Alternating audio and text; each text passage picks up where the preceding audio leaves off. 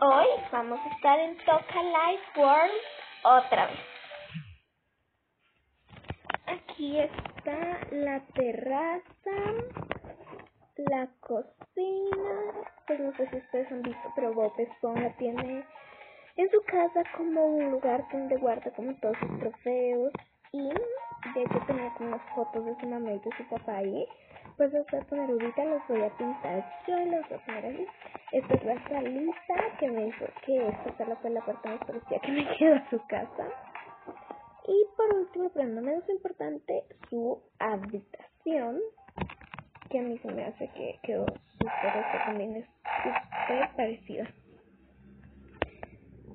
Y ella tiene, él, él tiene una mascota que se llama Gary, que es un caracol.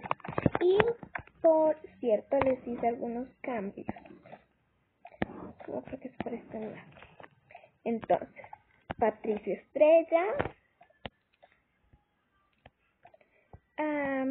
Calamardo, Bob Esponja y Don Cangrejo. Y estos son los cuatro personajes que creé. Pero pensando también debería crear a Arenita y a la hija de Don Cangrejo, Perla. Pero bueno, hasta ahora solo tengo estos cuatro personajes que son pues los principales, pero Perlita también, Perlita Arenita también es una de las principales, pero bueno, acá tengo estos. Y esta es la casa de Bob Esponja. Y también voy a hacer el restaurante. Voy a ir a hacer el restaurante. El crustáceo cascarudo ya abre sus puertas. Como les parece que me queda el cartel? Y aquí están las mesas. Este es Patricio. aquí está Calamardo tomando las órdenes. Y aquí está Bob Esponja haciendo las hamburguesas con todas las órdenes que toman